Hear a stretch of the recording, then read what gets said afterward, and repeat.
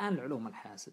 طبعا علوم الحاسب زي ما قلت لكم كثير من الجامعات برا تجد إنه نظم المعلومات وهندسة البرمجيات تجدها تحت علوم الحاسب. أنا شخصيا لما درست الماجستير والدكتوراه آه، درست في قسم علوم الحاسب وعلى الرغم إنه تخصصي بالذات في يعني فترة الدكتوراه كان على هندسة البرمجيات بشكل كبير جدا لكنها كانت تحت علوم الحاسب.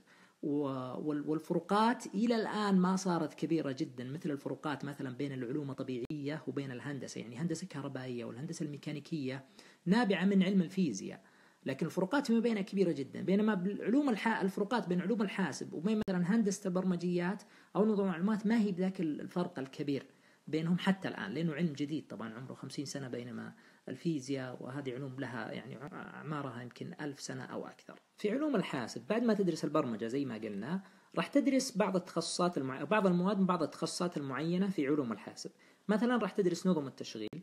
كيف تصمم نظام تشغيل؟ إحنا نسمع بال iOS بالماكنتوش بال macOS بالويندوز وغيرها. كيف النظم هذه نظم التشغيل هذه كيف تصمم؟ طبعا في بعض الجامعات حتى نظم المعلومات وهندسه برمجيات وهندسة الحاسب كلهم يدرسون نظام التشغيل. فهذا شيء موجود لكنه يعني هذا شيء أساسي ورئيسي في علوم الحاسب. آه شيء ثاني راح تدرس في علوم الحاسب راح تدرس قواعد البيانات.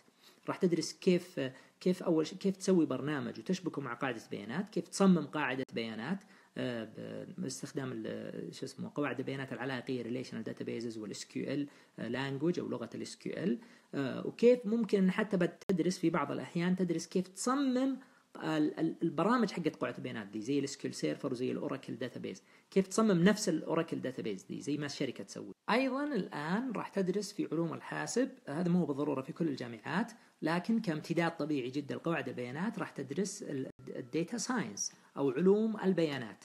كيف تسوي تحليل للبيانات؟ كيف تبني نظام وبرامج عشان تسوي تحليل للبيانات؟ آه، راح تدرس ممكن ال big data أو كيف تخزن البيانات الضخمة آه، باستخدام قواعد البيانات اللي اللي ما تتبع ال SQL هذه طبعا مواد جديدة ما هو بالضرورة موجودة في كل الأقسام.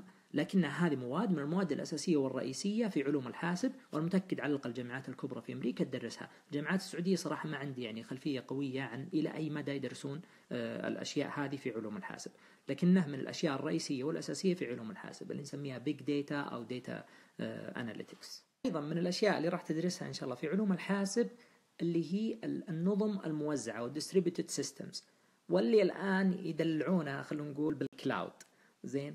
الآن لما تيجي تبني نظام على ال cloud إذا كنت تسمع بكلمة cloud هذه آه، هذه كلمة يعني نوعا ما أنا أعتبرها كلمة تسويقية أكثر منها آه، كلمة يعني علمية. فلما يقول لك انت تبني خدمات cloud و cloud services و back end في في ال cloud فهذا كل الكلام هذا كله نقدر نلخصه في المواد الخاصة بالنظم الموزعة أو distributed systems.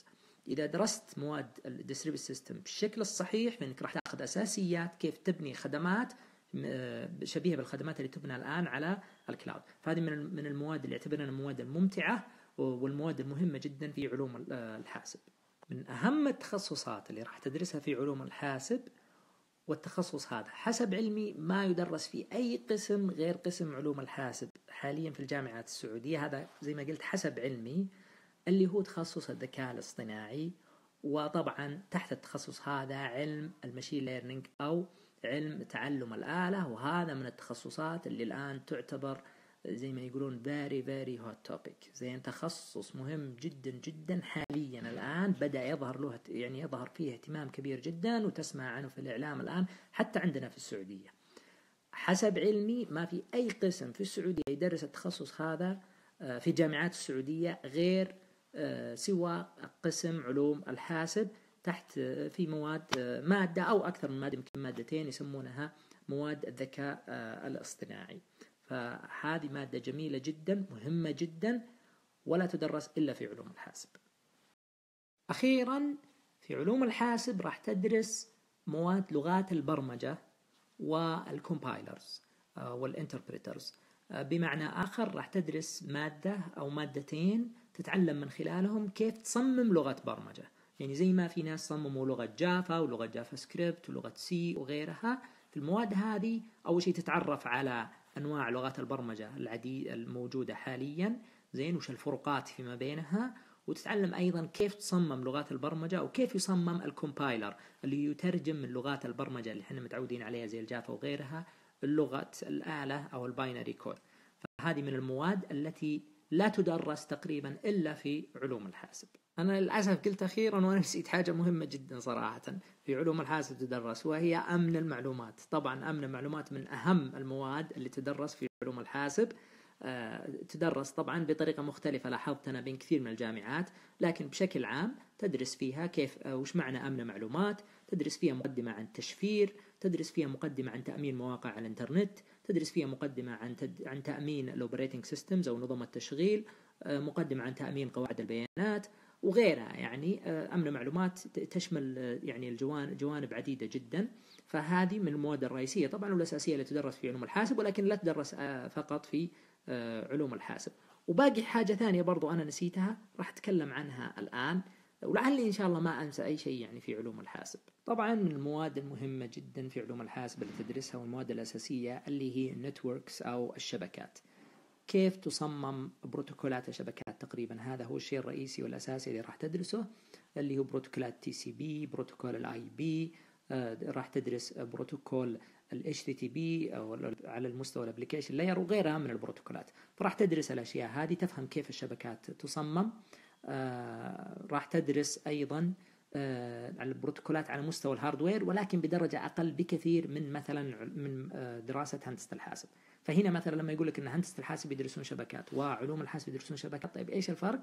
تلاحظ إن هندسة الحاسب يركزون أكثر على مستوى ال hardware في الشبكات.